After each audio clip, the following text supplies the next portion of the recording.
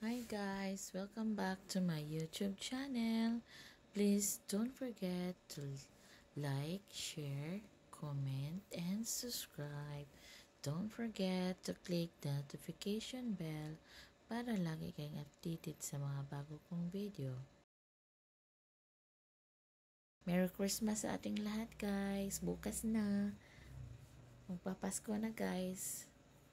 So, ayan guys Uh, ngayon lang ako nagka, uh, nag-edit sa kuko na to guys. Matagal na to sa phone ko. Pero ngayon ko lang pa na-edit. So, guys, pasensya kayo sa Tagalog ko guys ha. Kasi trying hard talaga yan. Uh, basta ang importante guys, maintindihan nyo naman ako, di ba? So, yun na guys. Yung kuko niya, uh, super.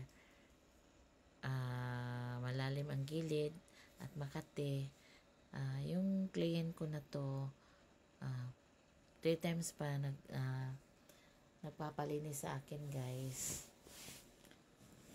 Tapos naging suki ko na siya ngayon. Kasi dati daw nagpalinis siya ano lang, mabilis lang daw matapos yung naglilinis sa kanya at hindi natatanggal yung nasa gilid. Tapos, grabe daw yung uh, mag, grabe daw magkakat ng kuko. Kaya, ganun ang shape ng kuko niya, guys. Tapos, minsan, uh, minsan din daw, ano, kahit hindi na daw dapat uh, ikat yung gilid ng kuko niya sa taas, kinakat pa rin nung una niyang mamikirista.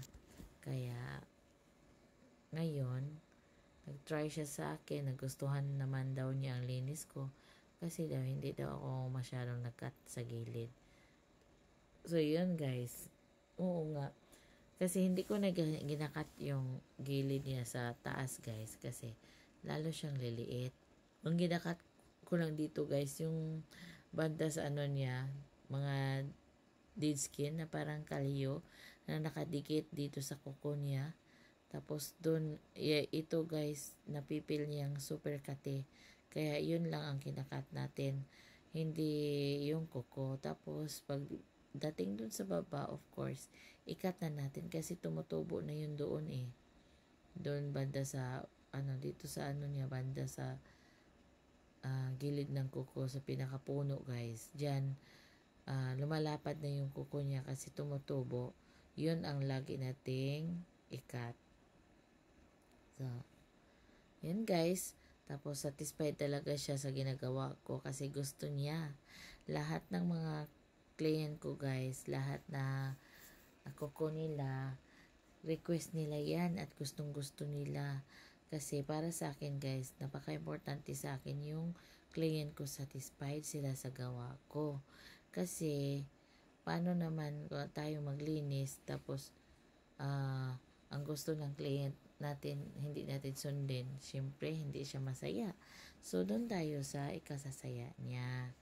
So yan lahat, lahat na mga ginagawa ko guys, request accepted by client yan.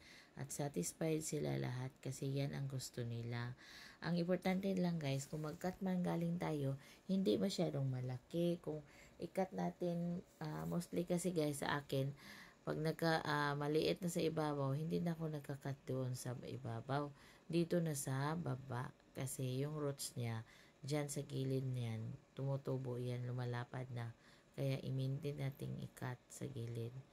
Tapos sa taas, hindi na tayo mag-cut sa taas kasi yung dito banda sa taas niya is maliit na. So, 'di ba? Oh, ayan, satisfied siya, guys. So,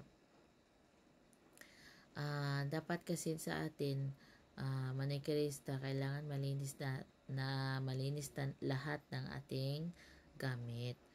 Uh, yung brush, mag mag-stock tayo ng maraming brush at linisan natin alkoholan, sabunan, ibaba ng alcohol guys.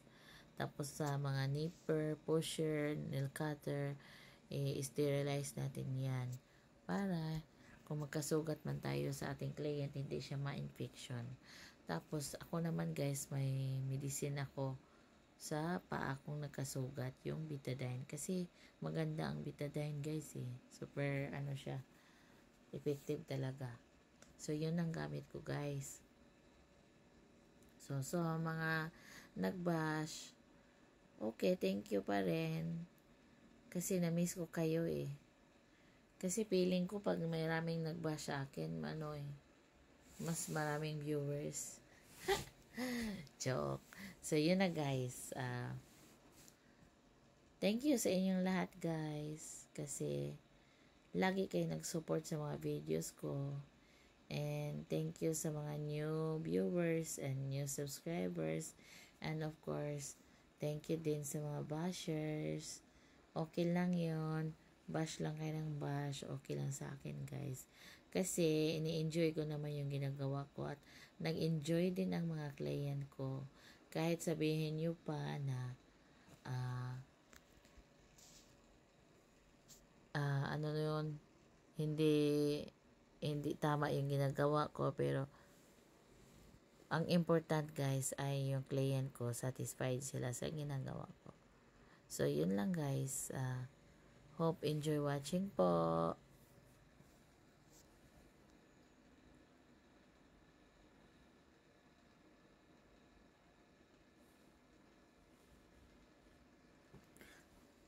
So, yan guys, oh, tingnan nyo, ba? Nakikita nyo? Super laki yung ano, mga dry skin sa gilid niya. Kaya, ayan. Tapos, yung sa yung mga dead skin niya guys, sobrang tigas. Kahit binababad ko pa yan, sobrang tigas talaga. Kaya, kailangan dandahan ang kanyang pag-push at ginagamitan ko din yung matulis na ano, pang pusher para matanggal talaga mamahiwa. Kaya ganon. Ganon guys.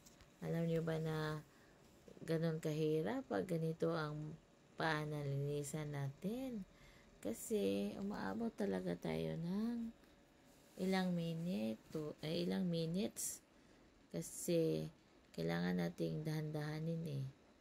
Kasi pag hindi yan dinadahan-dahan, masasaktan din naman yan kasi ano makapal yung dead skin dry skin niya. Makapal at saka nakadikit sa laman guys. Kaya ayan talagang ano mahaba ang pasensya sa pagkalkal. Oh, tapos ini-enjoy mo. Yun ang importante guys. Ini-enjoy natin ang pagiging manicurista natin. 'di ba So, yun na.